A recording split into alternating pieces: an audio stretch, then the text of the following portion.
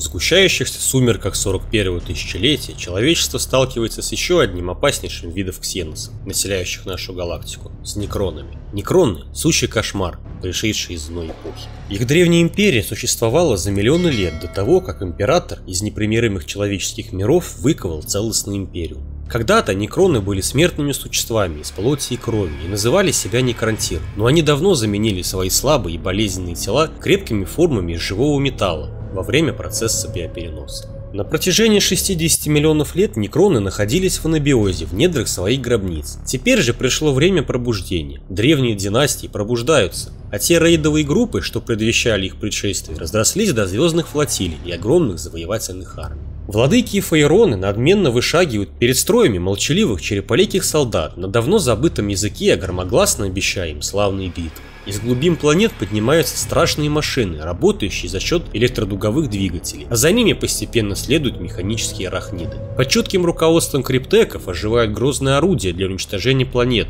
какие галактика не видела вот уже миллионы лет. Ряд за рядом из гробниц сплошным потоком холодной стали наружу выбираются скелетоподобные войны. Миллиарды некронов поднимаются из могил, дабы вернуть то, что когда-то им принадлежало, и вся галактика сражается в ужасе от их возвращения. По традиции, свой рассказ о некронах я начну с их ранней истории. Когда-то давно, примерно 60 миллионов лет назад, эти механические ксеносы, по аналогии со всеми живыми существами в галактике, состояли из плоти и крови и назывались некронтир. Теперь же, ко времени эры Империума, некронтир являются одной из тысяч мертвых и забытых цивилизаций. За миллионы лет до появления человечества на Святой Терре, род болезненных, проклятых существ, известных как некронтир, изо всех сил цеплялся за жизнь под нещадно палящими лучами губительного солнца на своей родной планете. Гонимы нуждой, они выбрались из заключения этой природной тигельной печи и направились к звездам, надеясь выковать империю, в которой они смогли бы реализовать свой потенциал, вырванный из смертельных объятий, породившей их звезды. Но и тут они не нашли покоя, ибо сильное социальное расслоение в их зарождающейся империи вскоре привело к междоусобной вражде. Члены каждой династии Некронтир хотели быть хозяевами собственной судьбы, и конфликт между великими домами быстро перерос во всеобщую войну. Продлись такое положение дел еще поколений, и Некронтиры, вероятно, истребили бы самих себя, как это было со многими другими ксеносами до них и будет после. Но все вышло иначе. По мере того, как молодое и вздорное государство расширялось в космосе, оно неизбежно встречалось со старшими силами, созданиями, что существовали уже долгие эры. Все вместе они составляли народ древних, абсолютных хозяев форм загадочной энергии, которую некронтир не то что не умели использовать, но даже не имели они никакого представления. Хотя древние давным-давно открыли тайны бессмертия, тем не менее они отказались поделиться даром вечной жизни с Некронтир, которые по-прежнему страдали от проклятия зловредной звезды, под которой они родились. По мере разрастания империи Некронтир в галактике, каждая из их династий стремилась обрести независимость от триархии, правящего совета, во главе которого стоял безмолвный царь Сарех. Вся цивилизация стояла на краю гражданской войны. В попытке объединить свой народ безмолвный царь разработал план, который изменит все и навсегда и приведет к таким последствиям, которые эхом будут отдаваться на протяжении бесчисленных миллионов лет. От горькой зависти и затаенной обиды безмолвный царь воспользовался отказом древних поделиться секретом бессмертия как предлогом для развязывания войны и принудительно объединил весь род Некронтир под властью триархии против общего врага. И хотя Сареху удалось сплотить свой полный ненависти народ, Некронтир ввязались в межзвездную войну, в которой у них не было шансов выиграть, по крайней мере в одиночку. За какие-то несколько столетий от Некронтирской империи осталась лишь тень былого могущества. Древние владели паутиной и могли призывать силы, сопротивляться которым у Некронтира не было никакой надежды. Скоро почти все армии династий были побеждены, а их главы оказались в отчаянном положении, цепляясь за те миры, что у них еще остались. Некронтир стояли на грани полного поражения, но древние не видели необходимости морать руки и не стали наносить последний решающий удар. Ибо в это же время династии вновь обратились друг против друга, развязав вторую сатисионистическую войну. Возмущенные той участью, на которую обрекла их триархия, династии восстали против безмолвного царя, и некоторые даже были готовы просить древних о мире, появись такая возможность. И когда гибель целой расы уже казалась неизбежной, спасение пришло с неожиданной стороны. Точные обстоятельства первого контакта Некронтир с богоподобными сущностями, которым дали название Ктан, вряд ли когда-либо станут известны. Возможно, они всегда были там, кормясь губительными энергиями родного солнца Некронтир. Или, быть может, их притянули из некой бездонной внешней тьмы, ненависть и озлобленность мимолетного народа безмолвного царя, которую они испытывали к бессмертным древним. Какой бы ни была правда, старейшие династии попали под влияние непостижимых созданий и, чтобы полностью найти с ними общий язык, создали великие вместилища, в которые ктан смогли бы вселить свои нематериальные тела и с их помощью оказаться среди смертных впервые за несчетные эры. Можно считать простым совпадением тот факт, что эти существа напоминали полузабытых богов из доисторической эпохи Некрантир, но с тем же успехом это можно было принять из-за предостережения об истинной природе Ктан. Воплощенный в своей божественной оболочке, внушающий благоговейный страх, один из ктан, среди сородичей известным под именем Обманщик, пришел ко двору безмолвного царя и поведал о войне, что разыгралась задолго до рождения Некрантира. В том противостоянии древние одолели ктан и изгнали в самые дальние уголки реальности последний.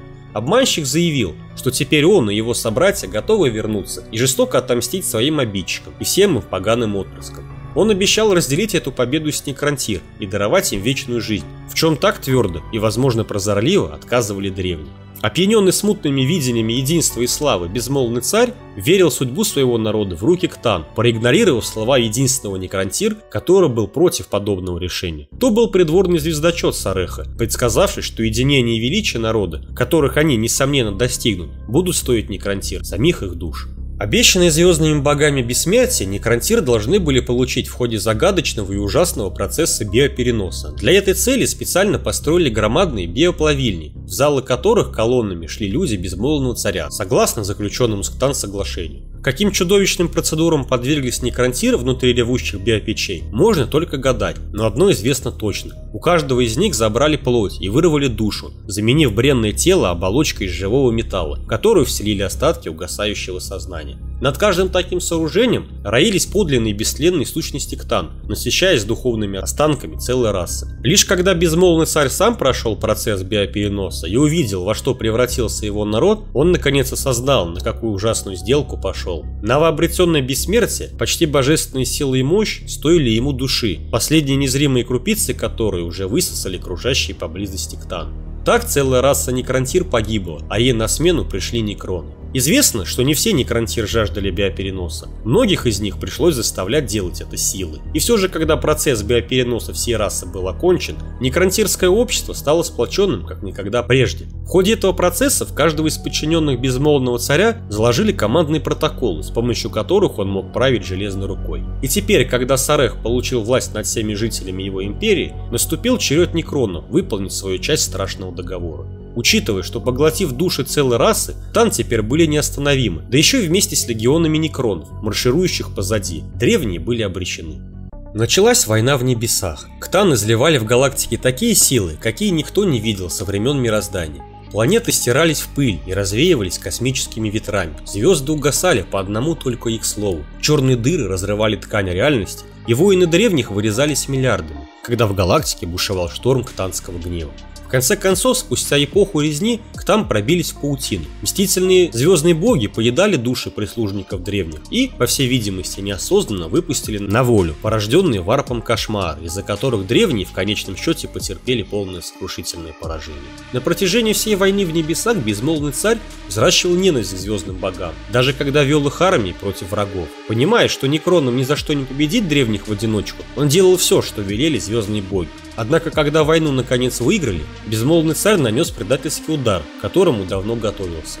Зная, что уничтожить всех ктан не более возможно, чем обратить вспять процесс сотворения мира, Сарех разбил каждого из них на бесчисленное множество осколков, которые навечно запер в тессарактовый склеп. Всякий скованный и порабощенный фрагмент ктан обладал чудовищной силой, но не знал о том великом создании, каким он когда-то был последующие века некронам придется выпускать этих существ на какое-то время и при строгом соблюдении мер предосторожности. Видя, как галактика лежит в руинах после страшной войны и понимая, что величайший слуг древних, Ильдар, уже готов унаследовать большую часть утраченного их хозяевами, безмолвный царь приказал начать приготовление к великому сну. Сам же он отправился в черную бездну вне галактического пространства, ища способы провести обратный биоперенос и вернуть некронам их души.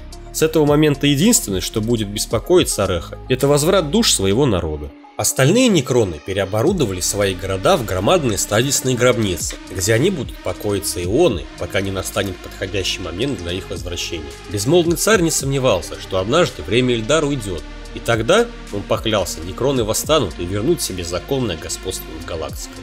На протяжении 60 миллионов лет некроны спали глубоко в недрах своих гробниц, и теперь древние династии пробуждаются, а те рейдовые группы, что предвещали их предшествие, разрослись до звездных флотилий и огромных завоевательных армий.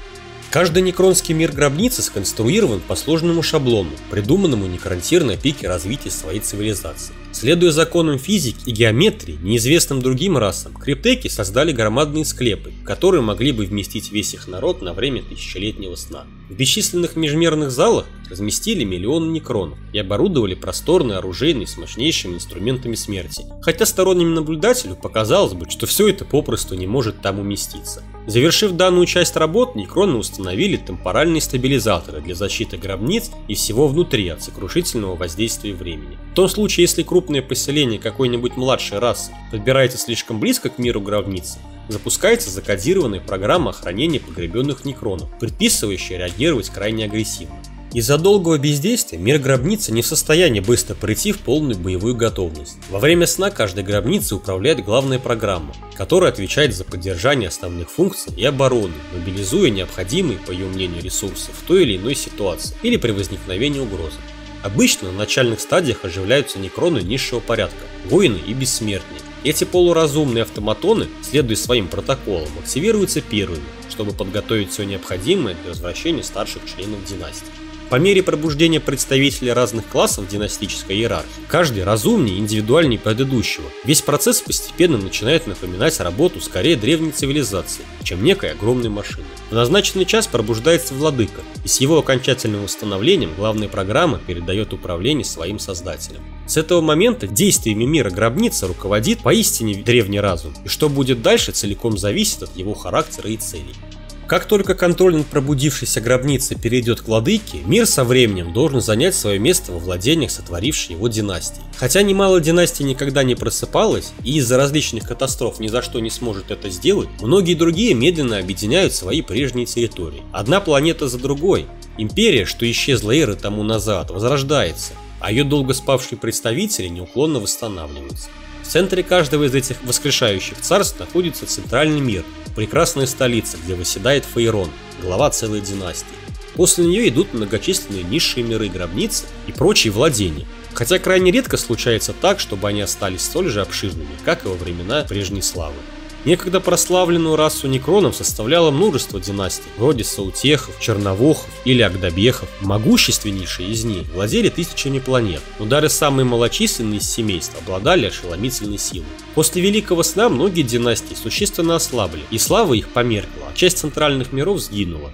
Однако сотни могучих родов выжили и не перестают пробуждаться все новые. Многие гробницы некронов по тем или иным причинам погибли, благодаря чему человечеству, как и всем остальным ксеносам в галактике, безумно повезло. Сегодня некроны лишь блеклая тень того, чем они являлись на пике своего могущества в эпоху войны в небесах. Однако даже в таком состоянии они безумно опасны для Империума. Внешне некроны представляют собой металлические скелеты, подобные скелетам живых существ с клубящейся зеленой энергией, исходящей из их механических конечностей и зловещих безжизненных изумрудных глаз. По их телам непрерывно циркулирует хладоген, подобный крови для предотвращения перегрева. Физически некроны это бессмертные существа, чьи тела демонстрируют превосходящую силу и выносливость, особенно в сравнении с органическими телами. У некронов есть роботизированные аналоги тех частей тел, которые существовали у них до биопереноса. Глаза заменены окулярами, уши слуховыми преобразователями, кожа некродермисом, а лица лицевыми пластинами или посмертными масками. Грудная клетка осталась неизменной, разве что за исключением того, что теперь она защищает внутренергетический реактор, а не органы жизнеобеспечения. Классовое неравенство общества Некрантир также вылилось в различия между их новыми бессмертными телами. Так, чем более высокое положение в их обществе занимал определенный некрантир, тем более продвинутое тело он получил после биопереноса. Высокопоставленные некроны, такие как повелители, имеют командные узлы, расположенные на наплечнике, которые передают их приказы своим воинам. Все некроны обладают сложными системами автоматического ремонта своих экзоскелетных систем, которые способны устранить даже самые серьезные повреждения. Хотя такие системы и способны поддерживать их постоянную работоспособность, в случае нанесения непоправимого урона некрон сворачивается. Его разум и остатки тела телепортируются в ближайший комплекс гробниц, где он остается на хранение до тех пор, пока не будет произведен ремонт либо же до того момента, пока для него не будет выковано новое тело. Однако подобное действие имеет свою цену. Каждый подобный акт переноса приводит к распаду останков души Некрона. Таким образом, те Некроны, которые умирали сотни раз, страдают больше всего, поскольку они становятся немногим больше роботов, полностью лишившихся памяти о себе и своей былой жизни. Некроны обладают хроносенсом, который позволяет им регулировать скорость своего восприятия времени. Все некроны носят знак Триархии – клеймо на коже из живого металла, указывающее на принадлежность к этой древней расе. Триархией назывался Совет Трех Фаеронов, главным из которых был Безмолвный Царь. Последним из безмолвных царей оказался Сарех, заключивший от лица своего народа сделку с Ктан, вследствие чего одновременно и спас, и погубил свою расу. За время Великого Сна Триархии не стало, однако до сих пор среди некронов упорно ходят слухи, будто безмолвный царь по-прежнему жив и сейчас преследует одному ему известные цели. Отсутствие в 41-м тысячелетии безмолвного царя и долгие годы сна сделали из триархического анха напоминание об увядшей славе. Одни аристократы видят в нем краеугольный камень империи некронов, тогда как другие считают его пережитком давно ушедшей эпохи.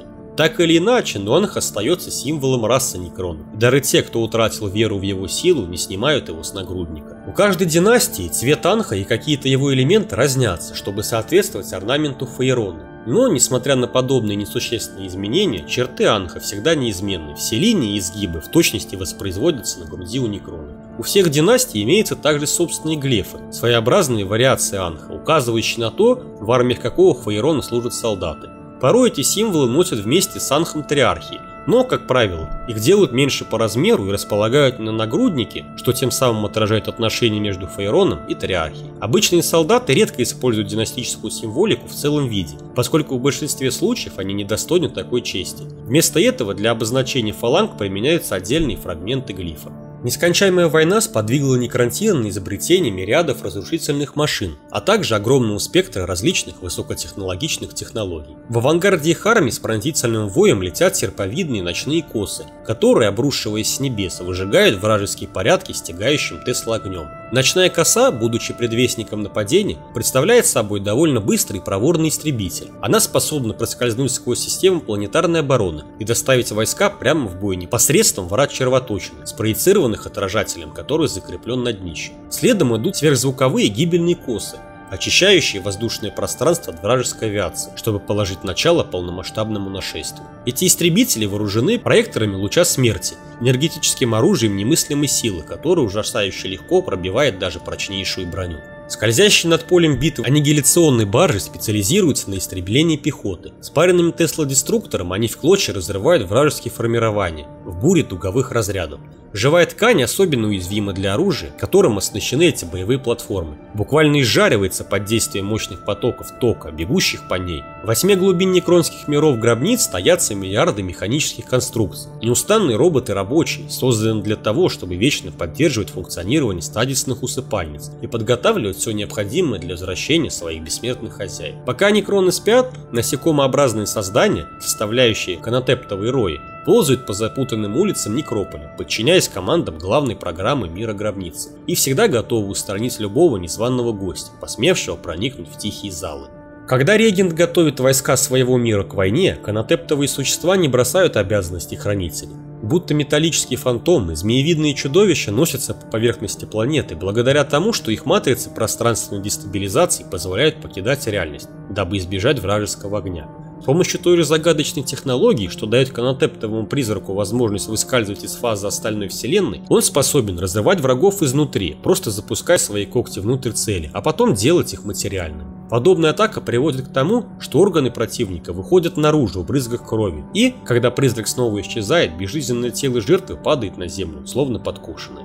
Оснащенные антигравитационными двигателями канатептовые пауки плавно скользят над полем битв, словно громадные арахниды, ползающие по невидимым паутинам. Заложенная в них сложная программа позволяет им ремонтировать поврежденное оборудование и агрегаты некронов, будь то тонкие механизмы гибернационного саркофага или корпус из живого металла монолита. Кроме того, могильные пауки обладают способностью быстро воспроизводить рои канотептовых скоробеев, которые летают большими сверкающими тучами. Эти крошечные дроны обволакивают органические и неорганические предметы и своими жвалами пережевывают даже самые прочные вещества, перерабатывая их в энергию, которую некроны используют для питания легионов.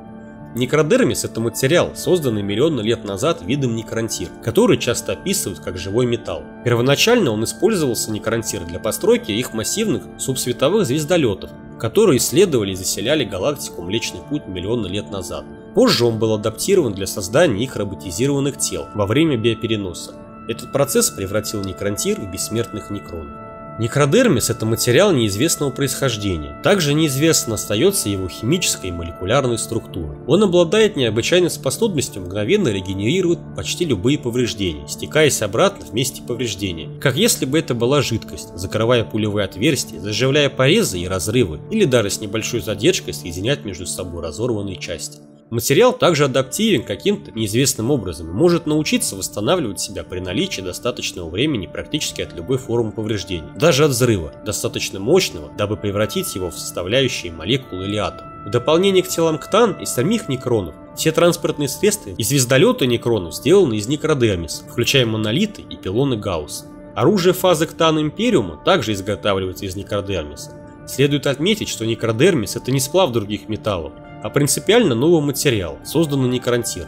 Гаусс оружие – это основное вооружение боевых единиц Некронов. На самом базовом уровне его можно охарактеризовать как линейный асинхронный двигатель. При выстреле зарядом в нем создаются сосредоточенные биполярные магнитные поля, которые выстреливают вперед и начинают поглощать все на своем пути и засасывать в точку невозврата. Помимо этой разрушительной мощи, Гаусс оружие создает электрические импульсы, которые образуют мощные магнитные поля, воздействие которых расщепляет составляющие атомы мишени, в то время как цель притягивается к оружию. Армия некронов, как и любая другая армия, состоит из различных видов подразделений. Как и у большинства ксеносов, воинская иерархия в армии некронов соответствует их положению в обществе. Воины некронов или некроны-воины составляют основу любой армии некронов. Именно они являются холодным сердцем безмолвных сил миров гробниц. Бесчувственные воины-некроны, ряды которых неумолимым маршем смерти проходят по опустошенным полям сражений 41-го тысячелетия, составляют основную массу пехоты Фейрона. Когда-то давно они были простыми выходцами из народа Некрантир, но после биопереноса в их разуме погас огонь сознания, и они стали послушными рабами владык. Пускаемые в расход и клеймимые, словно домашний скот, воины Некрона ценятся только за тот ураган смерти, что они обрушивают на врага. Фейроны равнодушно посылают их легионы в бой, дабы раздавить своего неприятеля под лавиной живого металла. Но даже несмотря на то, что в головах воинов Некронов горит лишь слабая искра рассудка, они все-таки считаются грозными и стойкими противниками. Оснащенные древним энергетическим оружием, они выкашивают вражеские ряды гибельными залпами гаусс-огня, а их крепкие тела восстанавливают сами себя при получении повреждений. И то обстоятельство, что заключенные в обветшавших оболочках некронов крохи разума позволяют лишь смутно осмыслить ход битвы, имеет мало значения для тех, кого эти механические солдаты втаптывают в грязь. Так как умственные способности воинов-некронов крайне ограничены, им требуется постоянное указание. Без командиров, отдающих им приказы, воины-некронов переходят в защитное состояние, отражая атаки врагов точными залпами. Однако нехватку инициативности они компенсируют своей целеустремленностью. Получивший приказ, воин Некронов не остановится до тех пор, пока не будет убит или не выполнит его, а прочность их тел помогает им в этом. Следующими по своей силе в иерархии армии некронов идут бессмертные. При жизни бессмертные составляли сословие кадровых военных в армии Некронтир. После биопереноса они превосходят простых воинов почти во всем. Неумолимо наступающие бессмертные с помощью своих пушек насылают на врага настоящий гаусс-бурю, срывающие плоть с костей. В ходе войны в небесах именно они шли в авангарде армии. И теперь, спустя миллионы лет, они снова занимают свое место на передовой захватнических войн. Бессмертные крупнее и прочнее рядовых воинов, поэтому им по силам вынести урон, который бы не выдержали даже легендарный Адептус Астартес.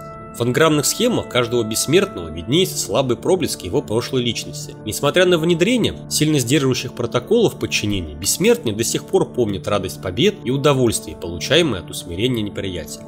Переход от смертной плоти к неувядающему металлу только укрепил их ненависть к врагам. Лишенные таких ненужных понятий, как жалость и сострадание, также избавившиеся от страха перед смертью, бессмертно убивают всех без разбора и без колебаний. Единственное желание любого из этих элитных воинов – осуществлять волю своего владыки и вернуть былую славу империи Некронов. Неустанные, смертельно опасные, навеки преданные лич-стражи – это идеальные телохранители и помощники владык Некрона. В древние времена лич-стражи были хранителями знати. Они целиком посвящали себя хозяевам и считались неподкупными. Тогда подобное утверждение скорее являлось больше пропагандой, нежели правдой. Хотя лишь стражи, без сомнения, преданнее обычных солдат, они были всего-навсего простыми смертными, и потому не были лишены всех искушений и слабостей плоти. Теперь же лич стражи действительно соответствует своему образу из легенд. Более они не могут отклониться от указов хозяина, и все благодаря старательному манипулированию с их инграммом во время биопереноса. Каждый из них запрограммирован на непоколебимую преданность определенному аристократу или целой династии, а это в совокупности с тем фактом, что они сохранили большую часть своей личности нетронутой, делает Лечь Стражи идеальными эмиссарами и заместителями в ситуациях слишком опасных, чтобы рисковать жизнью Фейрона и царских придворных. Внешне Лич Страж имеет невероятно внушительный облик. Будучи закованным в ту же тяжелую броню, которая чаще предназначается для членов царских семей Некронов, по большей части это сделано для практичности, в конце концов, какой толк от телохранителя, если он не обладает достаточной силой и крепостью для защиты своего хозяина? Кроме того, сама конструкция Лич-Стража подразумевает определенное высокомерие, дерзкий и неоспоримый вызов всем врагам знатного Некрона. Соответственно, Лич-Стражи неизменно можно увидеть в самом пекле сражения, потому что армия их хозяина сплачивается вокруг них, или потому что противник предпочел остановить натиск, и следовательно уничтожение Лич-Стражи его приоритетная задача. Независимо от вооружения, Лич-Стражи всегда предпочитают единственный расчленяющий удар, шквалу коротких выпадов и полагается на собственную выносливость, дабы не давать противнику передышки. Как и полагается по статусу, лич-стражи награждены телами живого металла, которые куда прочнее, чем у основной массы некронских воинов, а их энергетические рассеивающие щиты одинаково легко способны отразить как удар клинка, так и заряд плазмы, вследствие чего убить этих элитных солдат становится еще труднее. Будучи излюбленными хранителями некронской знати, лич-стражи получили инграммные протоколы, в значительной степени более продвинутые, чем у простых воинов или бессмертных. Благодаря этому они в состоянии действовать автономно, и если так решит их хозяин, они будут сражаться на передовой, командуя легионами в отсутствии повелителя. Претарианцы Некронов, в прошлом телохранители членов правящего совета Некронтира, ныне элитная штурмовая пехота Некронов. Претарианцы служили исполнителями приказов древней тариархии Некронтира и хранителями традиций. В отличие от прочих Некронов, претарианцы не подчиняются ни одному лорду или владыке. В древности они имели право судить знать, которая действовала вопреки интересам или повелениям триархии и нарушала кодекс чести Некронтира. Воплощенные в телах столь же мощных, что и у царских особ, претарианцы безошибочно узнаваемы за счет своих хвостов щитов и антигравитационных модулей, прикрепленных к спине. Хотя некроны погрузились в великий сон, претарианцы остались бодрствовать, дабы сохранить остатки империи безмолвного царя. Будучи обязанными защищать династии, они ждали, пока раса некронов снова сможет покорять звезды. И теперь, когда это время наконец настало, претарианцы разыскивают пробуждающиеся миры гробницы, чтобы направить их обитателей в нужном направлении и уберечь в процессе воскрешения.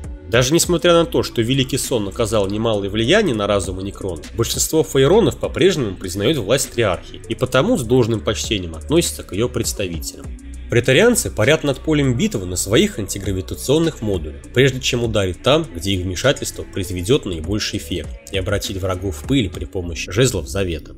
Лорд Некронов – могущественный представитель некронской знати, опытный воитель и предводитель армии, обладающий мощным разумом и свободой воли. На планете Гробницы могут насчитываться десятки или даже сотни знатных некронов, но лишь один среди них обладает абсолютной властью. В центральных и окраинных мирах это, как правило, лорд, в то время как коронных и некоторых важных центральных мирах регентами стоят владыки. Каждый фейрон также располагается в коронном мире, откуда правит целая династия и где формируют свои завоевательные армии. Лорды Некрона, пусть и занимают положение ниже и имеют меньше власти, чем владыки или фаероны, сами по себе довольно опасные противники, и зачастую именно они шагают во главе огромной механической армии. Лорды это независимо от своих монархов коварные предводители и безжалостные командиры, сосредоточенные на уничтожении своих врагов и приумножении личной славы. Однако, когда они сражаются вместе с владыкой или фаероном, то формируют царский двор, устрашающее собрание бессмертных аристократов, где каждый борется за влияние и прикладывает любые усилия для достижения своих целей. Владыки Некрон – самый могущественный и самый главный после фаеронов представители расы Некронов, правителями многих миров гробниц. Когда владыка Некронов шагает по полю битвы в своем военном одеянии, целые миры содрогаются в ужасе. Его бронированное тело выдерживает выстрел из противотанкового вооружения, а металлической мускулатуры хватает для того, чтобы в порошок стирать кости врагов. В распоряжении владыки находится все секретное вооружение его древней цивилизации, мощные артефакты, которые старше многих величайших рас галактики. Под его командованием находятся несчетные легионы бессмертных пехотинцев и флотилии боевых машин, единственное предназначение которых заключается в том, чтобы выполнять все его приказы. Фейрон – особо могущественный владыка Некронов и по праву являющийся одним из лидеров рас. Он правит целыми династиями, включающими в себя многие миры гробниц. Зачастую Фейрон владеет целым сектором, а его самого окружают свиты из простых владык, готовых выполнять любое его желание. Некроны по праву являются одним из самых опасных видов ксеносов, угрожающих империуму людей в 42-м тысячелетии. И теперь вы понимаете, почему эти слова не пустой звук. Если вам есть что добавить, а инфа о некронах настолько много, что можно сделать несколько таких роликов, радости просим в комменты под видео. А если вы хорошо попросите, то я готов более подробно раскрыть данную тему. Потому прошу закидать лайками этот видосик, ну и разумеется подписываться на канал, если ранее этого не сделали. Спасибо всем, кто досмотрел до конца. До встречи в новых видео.